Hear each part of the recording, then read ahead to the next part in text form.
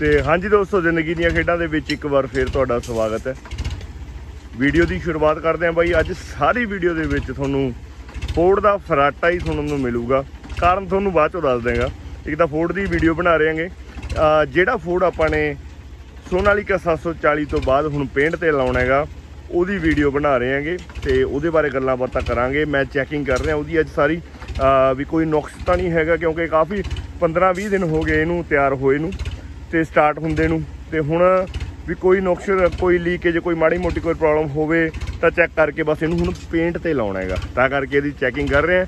ਗੱਲਾਂ ਬਾਤਾਂ ਸਾਰੀਆਂ ਸਾਂਝੀਆਂ ਕਰਾਂਗੇ, ਨਾਲ ਬਣੇ ਰਹੋ। ਜਿਨ੍ਹਾਂ ਨੇ ਸਾਡਾ ਚੈਨਲ ਸਬਸਕ੍ਰਾਈਬ ਨਹੀਂ ਕੀਤਾ, ਬਾਈ ਚੈਨਲ ਸਬਸਕ੍ਰਾਈਬ ਕਰ ਦਿਓ। ਕੀ ਦੇਖ ਰਹੇ ਹੋ? ਟਰੈਕਟਰ ਹੈ? ਅੱਛਾ। ਤੇ ਲਓ ਜੀ ਫੋਰਡ 3600 16 ਦੇ ਟਾਇਰਾਂ ਦੇ ਵਿੱਚ। 3600 ਦਿਖਾਉਣ ਤੋਂ ਪਹਿਲਾਂ ਮੈਂ ਇੱਕ ਵਾਰ ਦਿਖਾ ਦਾਂ ਵੀ ਆਪਾਂ ਕਿੱਥੇ ਖੜੇ ਆਂਗੇ। ਆਪਾਂ ਖੜੇ ਆ ਆਪਣੀ ਨਵੀਂ ਵਰਕਸ਼ਾਪ ਜਿੱਥੇ ਬਣ ਰਹੀ ਹੈ ਟਰੈਕਟਰਾਂ ਦੀ। ਆਪਣੀ ਮੋਟਰ ਤੇ ਮੋਟਰ ਤੇ ਹੀ ਵਰਕਸ਼ਾਪ ਬਣਾ ਦਿੱਤੀ ਹੈ। ਤੇ ਮੋਟਰ ਦੇ ਉੱਤੇ ਵਰਕਸ਼ਾਪ ਦਾ ਜਿਹੜੇ ਜਿਹੜੇ ਕੰਮ ਚੱਲ ਰਹੇ ਨੇ ਉਹ ਦਿਖਾਉਣੇ ਆ। ਤੁਹਾਨੂੰ ਇੱਕ ਵਾਰ ਨਿਗਾਹ ਮਰਵਾ ਦਿੰਨੇ ਆਗੇ। ਤੇ ਮੇਨ ਤਾਂ ਐ ਵੀ ਹੁਣ ਸਰੀਏ ਵਾਲਾ ਕੰਮ ਚੱਲ ਰਿਹਾ ਹੈਗਾ ਜ਼ਿਆਦਾ ਸਰੀਏ ਤੇ ਜ਼ੋਰ ਦਿੱਤਾ ਹੋਏਗਾ। ਤੇ ਨਿਉਆਂ ਨਿਕਲ ਚੁੱਕੀਆਂ ਨੇਗੀਆਂ। ਨੀਚੋਂ ਬੇਸ ਬਣ ਚੁੱਕਿਆ ਹੈਗਾ। ਤੇ ਹੁਣ ਕੰਧਾਂ ਦਾ ਕੰਮ ਖਿੱਚਣਾ ਬਸ ਹੁਣ। ਕਾਫੀ ਸਮਾਨ ਆ ਰਿਹਾ ਹੈਗਾ। ਮੇਨ ਤਾਂ ਸਰੀਏ ਸਰੀਏ ਦੇ ਨਾਲ ਖੇਤਾਂ ਦੇ ਵਿੱਚ ਵਰਕਸ਼ਾਪ ਆ ਰਿਹਾ ਨਾ, ਉਹਦੇ ਕਰਕੇ ਕੱਲ ਨੂੰ ਕੋਈ ਪ੍ਰੋਬਲਮ ਨਾ ਆਵੇ ਆਪਾਂ ਨੂੰ। ਹਵਾ, ਮੀਂਹ ਨੇਰੀ ਦੀ ਕੋਈ ਦਿੱਕਤ ਨਾ ਆਵੇ।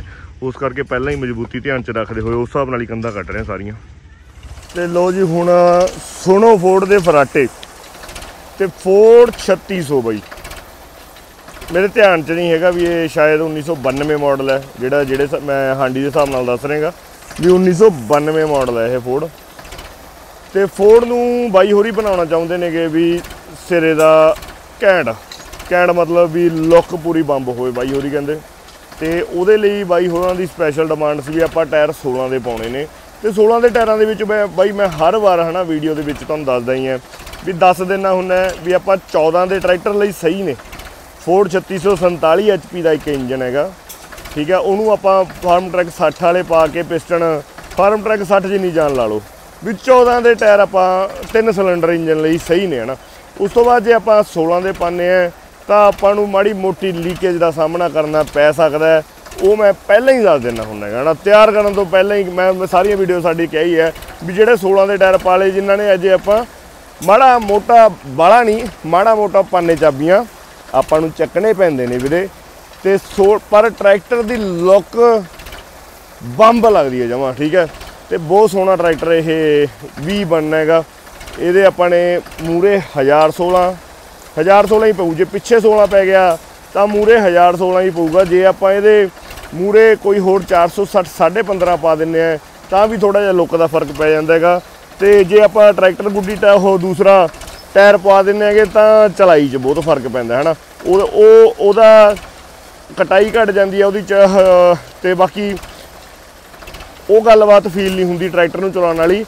ਮੂੜਲੇ ਚੌੜੇ ਟਾਇਰ ਪਾ ਕੇ ਜ਼ਿਆਦਾ, ਠੀਕ ਹੈ?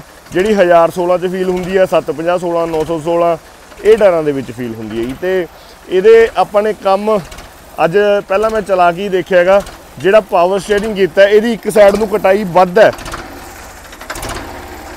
ਇੱਕ ਸਾਈਡ ਨੂੰ ਘੱਟ ਹੈ। ਇੱਧਰ ਦਾ ਕਟਾਈ ਵੱਧ ਹੈ, ਪਹਿਲਾਂ ਨੂੰ ਤਾਂ ਇਹੀ ਹੈ ਅੱਜ। ਆ ਇੱਧਰ ਨੂੰ ਕਟਾਈ ਘੱਟ ਹੈ, ਦੇਖੋ। ਇੱਧਰ ਇੱਧਰ ਨੂੰ ਕਟਾਈ ਘੱਟ ਹੈ। ਇੱਧਰ ਨੂੰ ਇੰਨੀ ਹੈ। ਦੂਜੇ ਪਾਸੇ ਨੂੰ ਕਟਾਈ ਦੇਖੋ। ਇੱਕ ਤਾਂ ਇਹ ਚਲੋ ਨੁਕਸ ਹੋ ਗਿਆ ਇਹਦਾ। ਜਿਹੜਾ ਸੈੱਟ ਕਰਨਾ ਹੈਗਾ, ਇੱਕ ਤਾਂ ਇਹ ਇਹ ਚੀਜ਼ ਦੇਖ ਲਈ ਹੈ ਬਾਕੀ ਲੀਕੇਜ ਮੈਂ ਕਾਫੀ ਟਾਈਮ ਤੋਂ ਚਲਾਇਆ ਹੋਇਆ, ਇਹ ਸਟਾਰਟ ਰੱਖਿਆ ਹੋਇਆ ਹੈਗਾ। ਤੇ ਬਾਕੀ 14 15 ਦਿਨ 20 20 ਦਿਨ ਹੀ ਹੋ ਗਏ ਹੁਣ ਇਹਨੂੰ ਸਟਾਰਟ ਹੁੰਦੇ ਨੂੰ, ਹਨਾ? ਲੀਕੇਜ ਕੋਈ ਆਈ ਨਹੀਂ ਹੈਗੀ ਸਾਨੂੰ। ਮੇਜਰ ਪ੍ਰੋਬਲਮ ਲੀਕੇਜ ਦੀ ਕੋਈ ਨਹੀਂ ਆਈ ਹੈਗੀ ਹਾਲ ਤੱਕ।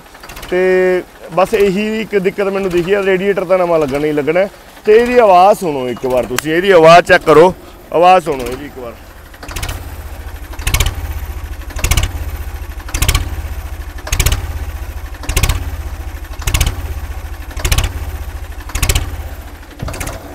ਜੀ ਕਰਦਾ ਸੁਣੀ ਜਾਈਏ ਤੇ ਮੈਂ ਜਦੋਂ ਆ ਕੇ ਉਰੇ ਟਰੈਕਟਰ ਖੜਾਇਆ ਨਾ, ਤੇ ਬਾਈ ਨੇ ਵੀ ਆ ਕੇ ਜਿਹੜੇ ਆ ਸਰੀ ਵਾਲੇ ਲੱਗੇ ਹੋਏ ਨੇ, ਇਹਨਾਂ ਨੇ ਵੀ ਆਨਸਰ ਇੱਕੋ ਹੀ ਗੱਲ ਕਹੀ ਵੀ ਬਾਈ, ਆਵਾਜ਼ ਬੜੀ ਘੈਂਟ ਹੈ।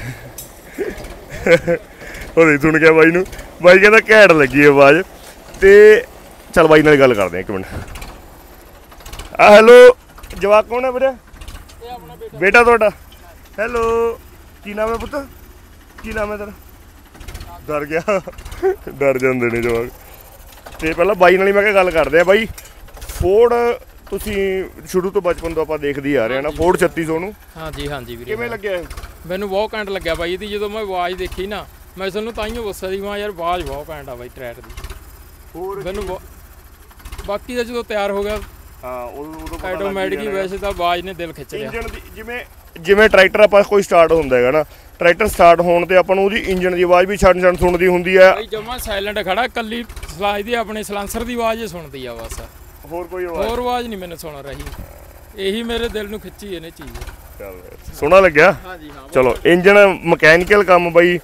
ਇਹੀ ਹੁੰਦਾ ਹਨਾ ਵੀ ਆਪਾਂ ਨੇ ਆਪਣੇ ਵੱਲੋਂ ਰੀਝ ਲਾਈ ਹੈਗੀ।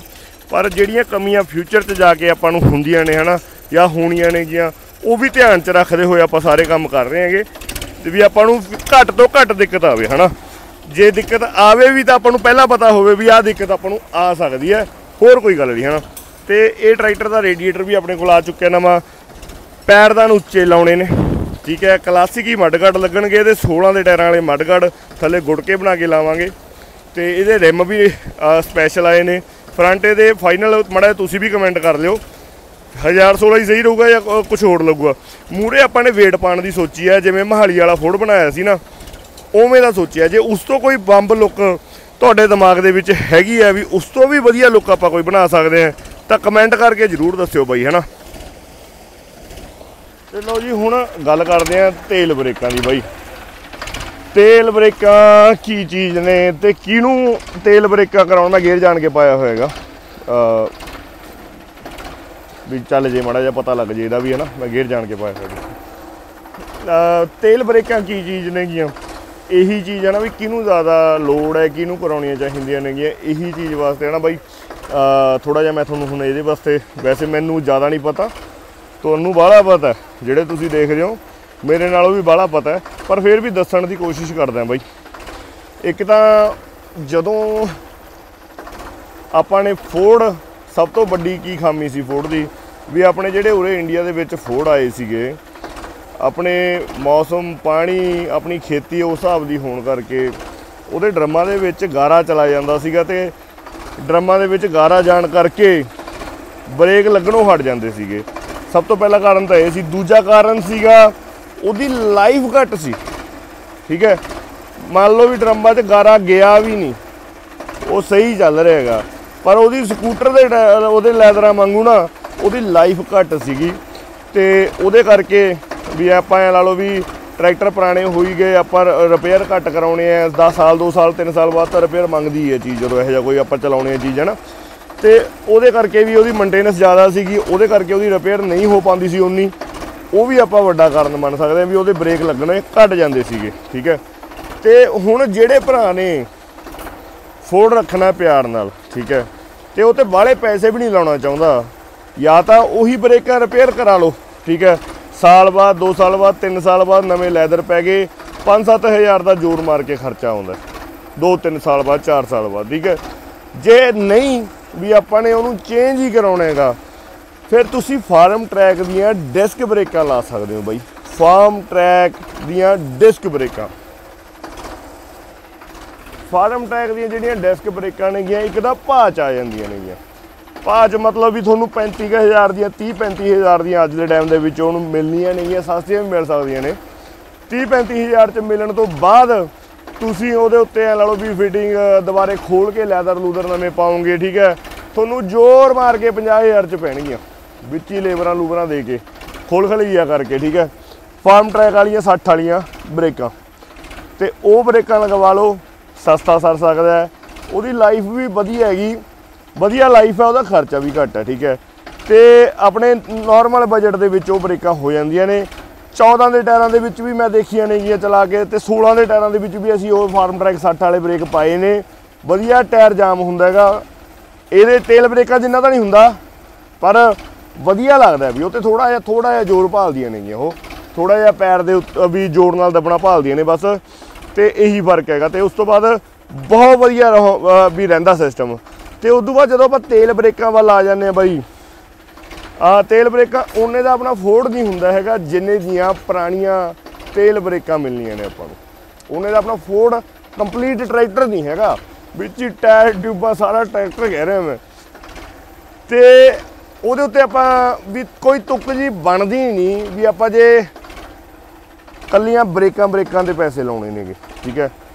ਉਹਨੂੰ ਕਰਾਉਣ ਦਾ ਫੇਰ ਫਾਇਦਾ ਹੈ ਵੀ ਜੇ ਆਪਾਂ ਨੇ ਪੂਰਾ ਸ਼ੌਂਕ ਨਾਲ ਕੋਈ ਟਰੈਕਟਰ ਰੱਖਣਾ ਹੈਗਾ ਤੇ ਉਹਨੂੰ ਐ ਲਾ ਲਓ ਵੀ ਰੋਡ ਤੇ ਚਲਾਉਣਾ ਹੈਗਾ ਤੇ ਆਪਾਂ ਨੇ ਉਹਦੇ ਵਿੱਚ ਕੋਈ ਕਮੀ ਨਹੀਂ ਛੱਡੀ ਤੇ ਉਹ ਫੀਚਰ ਵੀ ਪਾਤਾ, ਉਹ ਤਾਂ ਫਿਰ ਤਾਂ ਫਾਇਦਾ ਹੈ ਨਾ। ਜਿਵੇਂ ਹੁਣ ਇਹ ਟਰੈਕਟਰ ਹੈਗਾ ਖੋਲ ਕੇ ਆਪਾਂ ਨੇ ਸਾਰਾ ਪੱਟ ਕੇ ਦੁਬਾਰੇ ਕਰਤਾ ਇੱਕ ਵੀ ਚੀਜ਼ ਪੁਰਾਣੀ ਨਹੀਂ ਛੱਡੀ, ਦੁਬਾਰੇ ਇੱਕ ਤਰ੍ਹਾਂ ਨਾਲ ਨਵਾਂ ਬਣਾਤਾ ਖੋਲ ਕੇ, ਹਨਾ। ਤੇ ਉਹ ਚੀਜ਼ ਤਾਂ ਵੱਖਰੀ ਹੈ ਨਾ। ਤੇ ਨਹੀਂ ਫਿਰ ਜੇ ਆਪਾਂ ਨੇ ਨਾਰਮਲ ਟਰੈਕਟਰ ਚਲਾਉਣਾ ਹੈ ਨਾਰਮਲ ਉਹਦੇ ਇੰਜਨ ਕਰਾ ਕੇ ਉਹਦੇ ਨਾਲ ਖੇਤੀ ਕਰਨੀ ਹੈ ਡਿਸਕ ਬ੍ਰੇਕਾਂ ਬੈਸਟ ਚੀਜ਼ ਨੇ ਅੱਜ ਦੇ ਟਾਈਮ ਦੇ ਵਿੱਚ।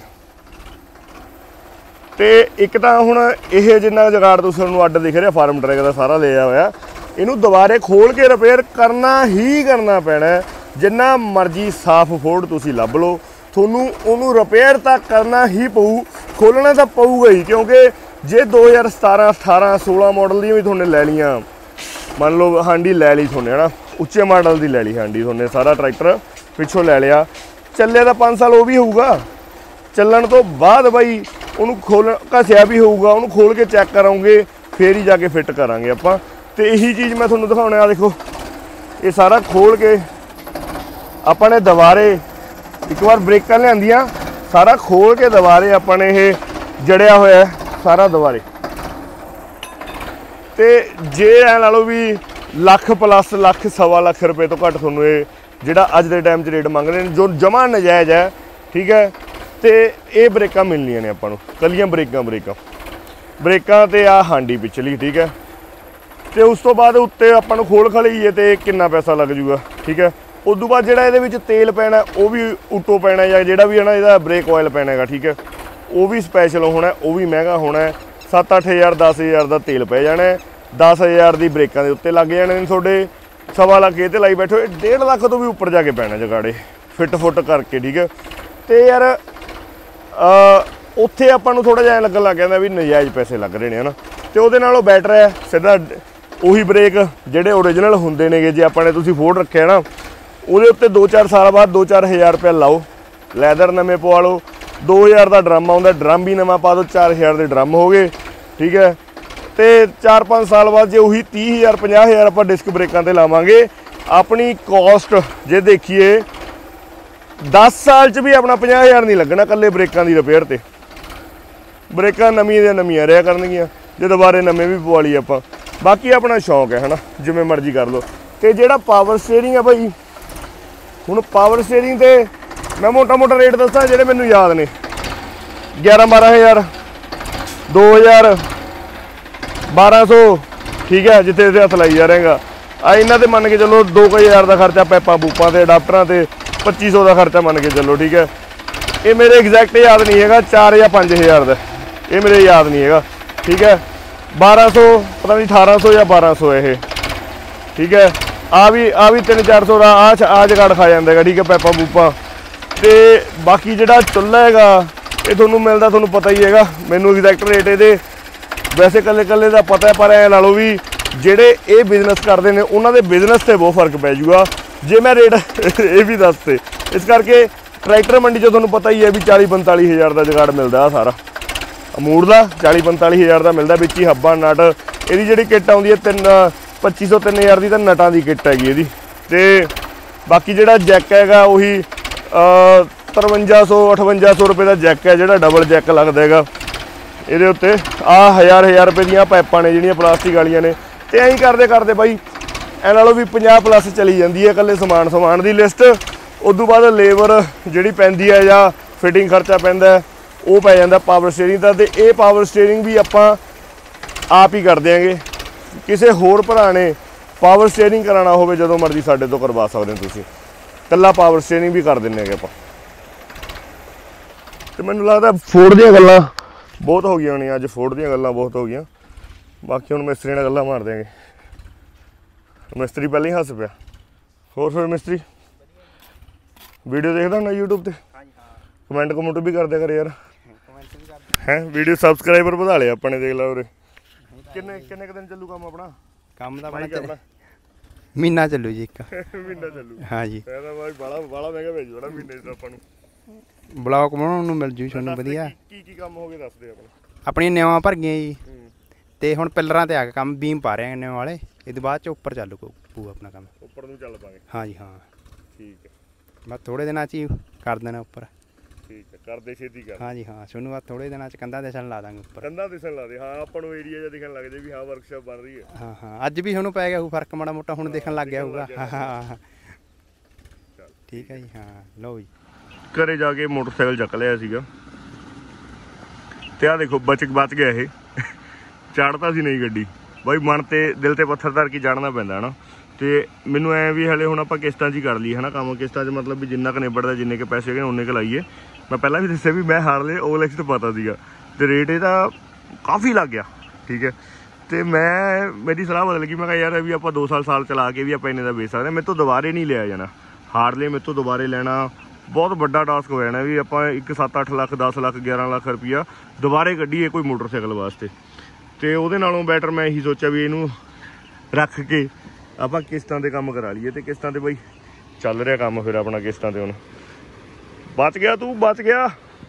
ਤੇ ਹਾਂਜੀ ਵੀਰੇ ਜਿਮ ਆ ਗਿਆ ਸੀਗੇ ਤੋਂ ਤੇ ਰੋਲਾ ਵਧੀਆ ਪੈ ਰਿਹਾ ਜਿਮ ਦੇ ਵਿੱਚ। ਐਕਸਰਸਾਈਜ਼ ਵਧੀਆ ਲੱਗ ਰਹੀ ਹੈਗੀ। ਤੇ ਮੈਂ ਬਾਈ ਬਾਰ-ਬਾਰ ਕਹਿ ਰਿਹਾਗਾ ਪੇਜ ਲਾਈਕ ਕਰ ਲਓ ਭਾਜੀ ਵਾਲਾ, ਰੋਸ਼ਨ ਭਾਜੀ ਵਾਲਾ।